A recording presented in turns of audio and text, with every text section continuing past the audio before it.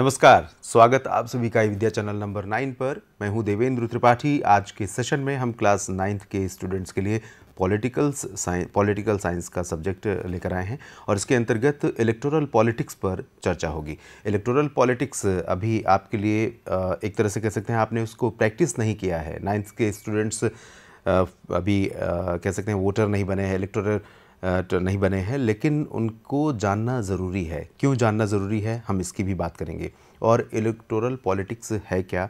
भारत में इसको किस तरह से प्रैक्टिस किया जाता है सब के बारे में हम बात करेंगे। और ये सब कुछ पढ़ाने के लिए इस पर तमाम जो जिज्ञासाएँ आपके मन में हैं या आपकी तरफ़ से जो सवाल मैं करूँगा उन जिज्ञासाओं का जवाब देने के लिए हमारे साथ हमारे आज की एक्सपर्ट हमारी आज की मेहमान जुड़ चुके हैं डॉक्टर भागे, भागेश्वरी शर्मा। जो कि दिल्ली टीचर्स यूनिवर्सिटी में असिस्टेंट प्रोफेसर हैं। मैम आपका स्वागत है। नमस्ते और जैसा कि आप सभी जानते हैं आप ई विद्या चैनल पर जो भी कार्यक्रम हम आपके लिए लेकर आते हैं उसमें खुद आप भाग भागीदारी कर सकते हैं आप इंटरैक्टिव प्रोग्राम का हिस्सा बन सकते हैं।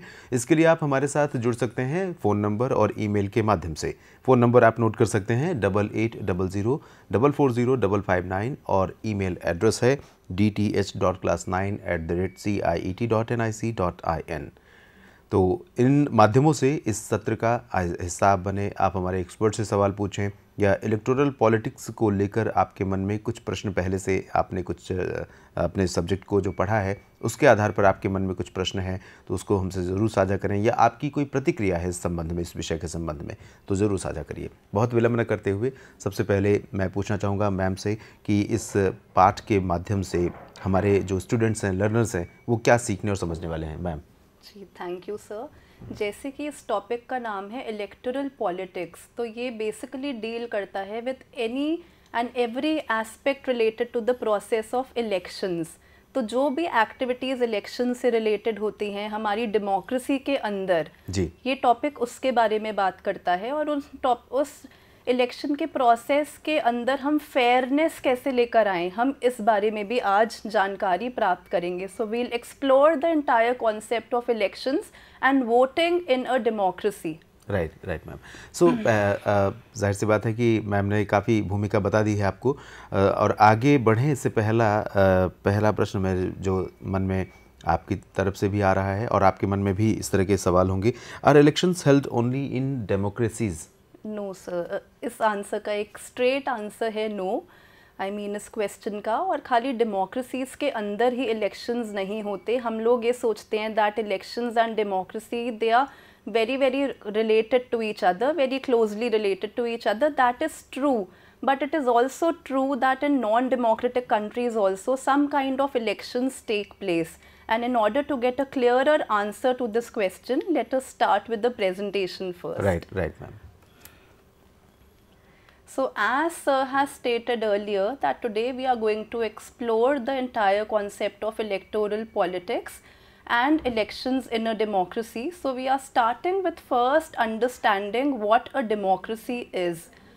तो डेमोक्रेसी क्या है ये हम लोगों को इसके बारे में एज स्टूडेंट्स काफ़ी हद तक पता चल गया था हमारे पहले की कुछ क्लासेस के अंदर and it was also a significant part of the first chapter of our textbook So in order to explain the concept of democracy very very simply, there are certain sentences related to democracy mentioned over here. Let us go through them first. Democracy is basically a form of government which is based on democratic ideals and these democratic ideals are the ideals of liberty, equality, justice and fraternity. And in a democratic setup, the citizens they do have got certain rights and also a very important aspect of a democracy is that every single vote has got a got the same value so every single person has got the right to vote and every vote has got the same value तो अगर आप और मैं elections में participate करते हैं और मैं जब वोट कर देती हूँ और उसकी काउंटिंग होती है और काउंटिंग आती है वन तो और आपके वोट की भी जब काउंटिंग होती है तो उसकी भी काउंटिंग जो है वो एक वोट की एक ही आनी चाहिए इन अ डेमोक्रेसी ऐसा नहीं होना चाहिए that we are not on the same level while our voting is being और while our vote is being calculated so the parity between the that calculation has to be maintained so that is very very essential in a democracy another significant element of a democracy is that we give authority to our rulers and these rulers they take all major decisions. Elections in a democracy they offer a choice and fair opportunity to the people to change the current rulers. The choice and opportunity is available to all the people on an equal basis. So when we are in a democracy, all of us have a right to vote and it is also very significant in a democracy that each and every ruler has this thing very very clear in his or her mind that if I am winning today, I might not be winning tomorrow. So everything is related to the choice of people and the power of the citizens in a democracy. So after getting a brief idea or a rough idea related to what a democracy is, let us now move to the concept of electoral politics. Electoral politics basically refers to a very very wide and vast term and as I stated earlier, it includes all the processes and activities related to elections and voting This particular thing forms the backbone of a democratic governance and it allows citizens to choose their representatives. So electoral politics के अंदर खुद ही include हो जाता है हमारे election कैंपेनिंग्स या फिर हमारे इलेक्शन का पूरा का पूरा प्रोसेस या फिर वोटर्स की education and also the actual process of voting So children, if you have come across several rallies on the social media or on traditional media या फिर अगर आपने live rallies भी देखी हैं so all that is a part of election campaign and that is a sub part of the electoral process. Now let us understand what do we mean by the term election. So in simple terms, election refers to a mechanism for selecting representatives so if I want to select my own leader, then I will be electing my leader if we are talking about a democracy. So in an election, the voter makes many choices. They can choose who will make laws for them. They can choose who will form the government and take major decisions. And they can also choose the party whose policies will guide the government and lawmaking. Now another significant aspect related to elections and democracy is one question which has to be reflected on by us and that question is that can elections take place only in democracies and this question was also asked by sir initially as when we started the presentation. तो ये question कई बार लोगों के दिमागों में आता है या फिर हम बहुत बार इसके बारे में सोचते भी नहीं हैं हमें लगता है कि अगर डेमोक्रेसी है तो बस वहीं पर इलेक्शंस होंगे। लेकिन आज हम जानेंगे कि क्या यही सच है, क्या ऐसा ही होता है। So a clear cut answer to this question is a big no yes it is true that all democratic countries hold elections but it is also true that many non democratic countries also hold elections in some way और the other so another question which crops, us, crops up in our mind is how do we distinguish between democratic elections and the non-democratic elections? So let us answer that question and before answering that question let us just focus on this particular picture which is taken from your own NCERT textbook. Here you can see that the name of the country Syria is mentioned and it is mentioned that Syria is a small West Asian country. The ruling Baath party and some of its small allies are the only parties allowed in that country. Do you think this cartoon could also apply to China or Mexico or do you think that this uh, particular scenario can also apply to our own country? तो क्या ऐसा है कि हम लोगों को भी बोला जाता है कि हमें बस एक ही पार्टी का मेंबर बनना है या एक ही पार्टी के लिए वोट करना है? So let us think about it और कुछ सोचने के बाद आई एम श्योर आप लोगों को आंसर खुद ही मिल गया होगा कि ऐसा नहीं है। We have several parties existing in our country and we do have the right to vote So this clearly shows one important element of democracy and elections and also this tries to answer the question whether elections can be held only in democracies. Right. Non and uh, like this uh, there are uh, so many countries who are uh, taking uh, who uh, who uh, takes uh, elections uh, bipolar part by, True. by True. party Yes, uh, Yes. like uh, European countries and US but in India India uh, is having multi-party political true, system. Sir. True, sir. तो ये यहाँ से भी हमको समझ में आता है सिग्निफिकेंस ऑफ़ अ डेमोक्रेसी और वहाँ पर किस तरीके से इलेक्शंस का प्रोसेस चलता है। Because we have a multi party system here in our country so the voters they have got a vast list of parties to choose from and they will first focus on the party's philosophy the party's agenda also the promises being made by the party and only then, after uh, having their own discretion, after deciding and reflecting on their own, they will select the party or they will cast the vote.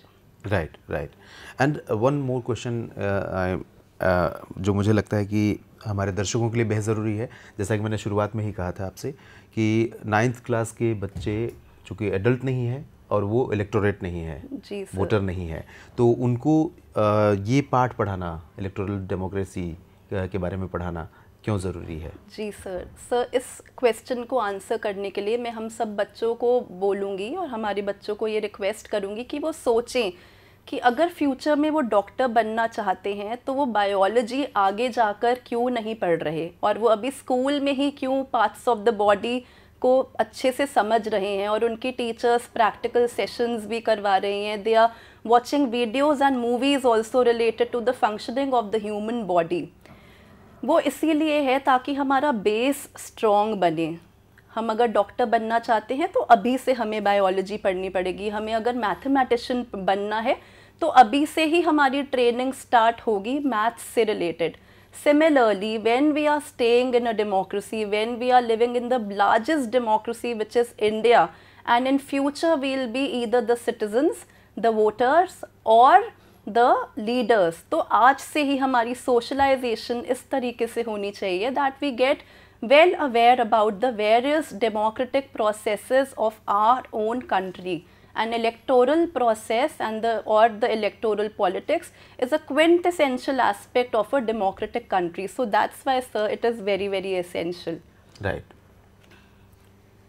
Okay, so now let us focus on the minimum conditions of a democratic election. That if we want our election to be democratic, what exactly has to be done? Here, everyone should be able to choose.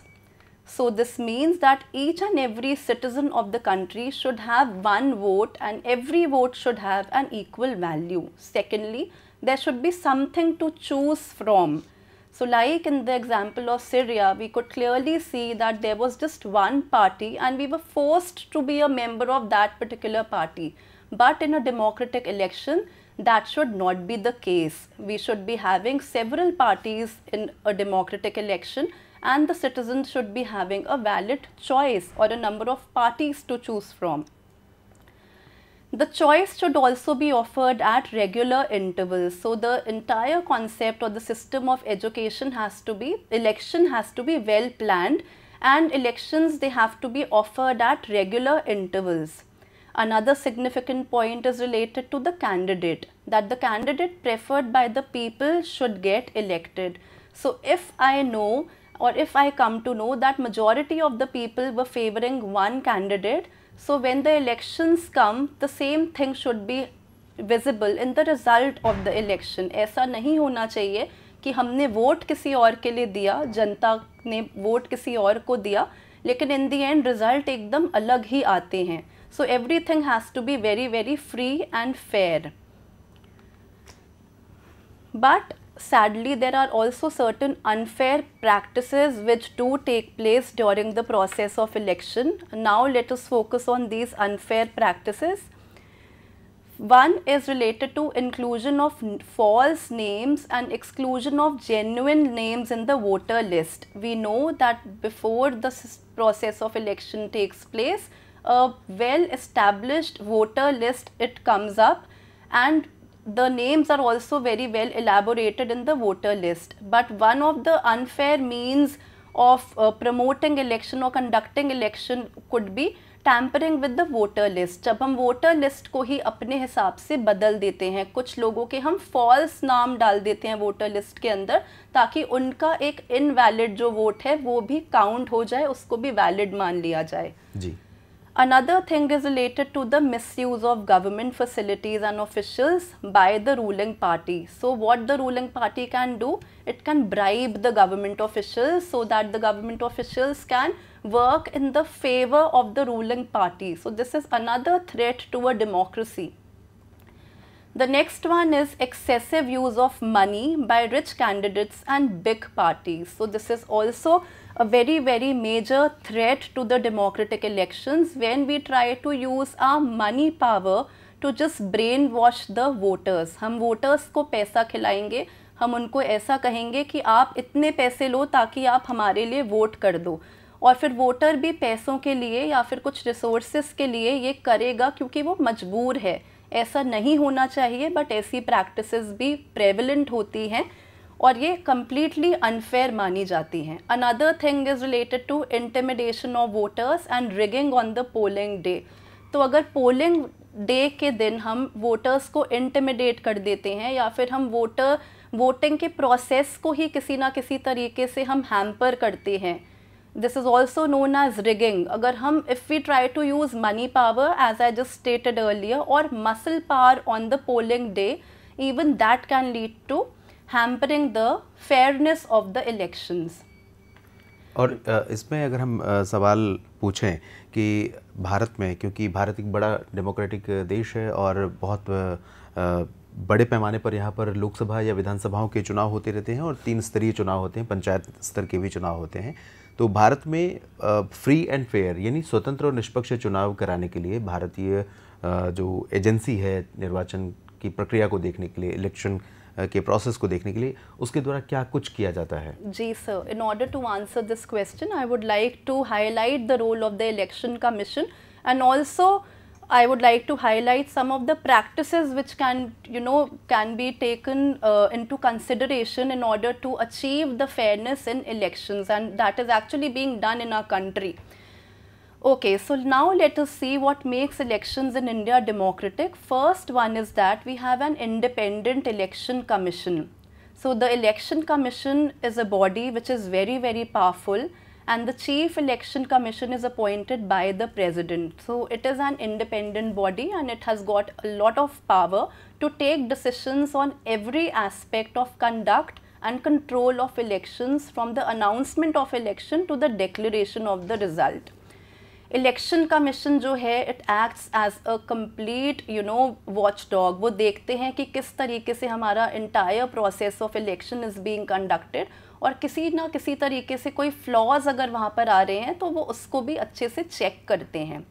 The election commission implements the code of conduct and punishes any candidate और party that violates it so it is a very powerful body as I stated earlier and it also punishes any candidate और party that tries to violate the code of conduct the election commission can also order the government to follow some guidelines to prevent use and misuse of power to enhance its chances to win elections or to transfer some government officials. It is also very significant to note here that the election commission can engage government officials for the work of election and at that particular time those government officials they will work under the election commission and not the government. So this particular image is also taken from your own NCERT textbook and now we will be reading some of the headlines related to the election commission's functions. So these are some of the headlines which came in the newspaper dailies and here the role of election commission is clearly mentioned. One such I would like to take one example that election commission issues notification constituting 14th Lok Sabha election or the election commission will seek power to censor political ads. So from time to time election commission keeps a watch on the entire process of election and it also tries to mold some of the negative things which are happening in and around the process of election. Another significant example or another significant step which has been taken by the election commission in our country V V P A T machines ये होती हैं voter verifiable paper audit trial जब हम voting के लिए जाते हैं और हमने अपना एक पर्टिकुलर अगर पार्टी के लिए वोट कास्ट कर दिया है तो उसका नाम वेरीफाई करने के लिए कुछ चंद सेकंड्स के लिए हम उनका नाम एक कंप्लीट पेपर पर देख सकते हैं इस मशीन पर। This is something which is very significant a very significant step which has been taken by the election commission and it is also being implemented then we also have popular participation. अगर elections के अंदर लोग बहुत ज़्यादा participate कर रहे हैं, they are having faith in the entire concept of democracy and election, then also the transparency would be maintained and then also the fairness would be maintained. The last point is related to the election, acceptance of election outcomes. So, if the elections are held in a fair manner and if people uh, they believe that the election outcome is completely you know transparent so that would also ensure fairness in election तो अगर outcome ऐसा निकल कर आया है जो कि opposition parties से भी accept करा जा रहा है तो ultimately ये clear हो जाएगा that this particular election was held in a free and fair manner. Right. और आखिर में मैम क्योंकि समय अब हमारे पास कम है तो आखिर में चलते चलते बच्चों को कुछ एडवाइस करना चाहेंगे आप? क्योंकि वो कुछ समय बाद इलेक्टोरेट बन जाएँगे वोटर बन जाएँगे। और उनको उनका जो बिलोंगिंगनेस है इलेक्शन प्रोसेस से क्या वो अभी से शुरू हो सकता है? जी वो अभी से शुरू हो जाना चाहिए। और as citizens of this country and as citizens of this country who have faith in the you know system of democracy we should be taking part in having critical discussions related to elections. So we can do one thing after this session that we can go to our parents or our guardians or any elders around us and we can ask them to share their own experiences related to the process of elections and how do they think that the fairness of elections is achieved in their own state or in, or in their own country. Thank right. you so much. Right. तो ये एक exercise ma'am ने आपको बताई है, जिसे आप अपने घर पर कर सकते हैं, अपने पेरेंट्स या अपने एल्डर्स से आप पूछ सकते हैं उनके अपने एक्सपीरियंसेस के बारे में इलेक्शन प्रोसेस को लेकर कि वो क्या सोचते हैं, अब तक उनका क्या अनुभव रहा है। और उसके आधार पर आप खुद अपने आप को, अपने इस देश का मतदाता बनने से पहले अपने आप का एक जुड़ाव, जो शासन व्यवस्था है सत्ता है, सरकार है, उससे आप एक जुड़ाव महसूस कर सकते हैं। तो ये टॉपिक था इलेक्टोरल पॉलिटिक्स जो कि पॉलिटिकल साइंस का एक इंपॉर्टेंट टॉपिक है। इसे आपने आज पढ़ा। उम्मीद करते हैं आपको आज का पाठ आज का जो सेशन था वो इंपॉर्टेंट लगा होगा और समझ में आई होंगी चीज़ें। आप अपनी प्रतिक्रिया ज़रूर दीजिएगा। और डॉक्टर भागेश्वरी शर्मा मैम आपका बहुत बहुत धन्यवाद हमारे साथ जुड़ने के लिए। और हमारे दर्शकों के साथ इतनी इंपॉर्टेंट टॉपिक पर चर्चा करने के लिए। और धन्यवाद कहना चाहूँगा आप सभी दर्शकों का भी हमारे साथ ई विद्या पर लगातार जुड़े रहने के लिए, शिक्षा, ज्ञान और जागरूकता के तमाम कार्यक्रमों के लिए। लेकिन चलते चलते आपको बता दें कि आज के लाइव सेशन के दौरान अभी कौन कौन से कार्यक्रम आप देखने वाले हैं? अब से थोड़ी देर बाद यानी तीन बजे हम आपके लिए लेकर आएँगे क्लास टेंथ का इंग्लिश का chapter the sermon at Benares understanding the text और क्लास टेंथ का ही साइंस का चैप्टर रहेगा और साइंस का सब्जेक्ट रहेगा तीन बजकर तीस मिनट पर, इसमें कार्बन एंड इट्स कंपाउंड्स पर बात होगी। उसके बाद चार बजे हम लेकर आएँगे ट्रेनिंग प्रोग्राम जो कि पाँच दिन का प्रोग्राम है और आज पाँचवा दिन है और इसके अंतर्गत गणित, शिक्षण और अधिगम के लिए डिजिटल गेम्स और ऐप्स पर बात होगी। और पाँचवा दिन रहेगा आज का। और इसके बाद सहयोग, जो कि साइको सोशल सपोर्ट है टीचर्स और स्टूडेंट्स और पेरेंट्स के लिए। तो इसमें हम आज बात करेंगे बहुत ही इंपॉर्टेंट टॉपिक पर festivals as learning opportunities building life skills इसके बाद, विद्यालय प्रमुख एक शोधकर्ता के रूप में ये पाँच बजकर तीस मिनट पर कार्यक्रम रहेगा, जिसमें हम विद्यालय प्रमुख की भूमिका, शिक्षा व्यवस्था में उनकी भूमिका के बारे में बात करेंगे। फ़िलहाल मुझे आज के इस सत्र से अनुमति दीजिए, लेकिन आप लगातार बने रहिए पी एम ई विद्या के साथ। धन्यवाद, नमस्कार।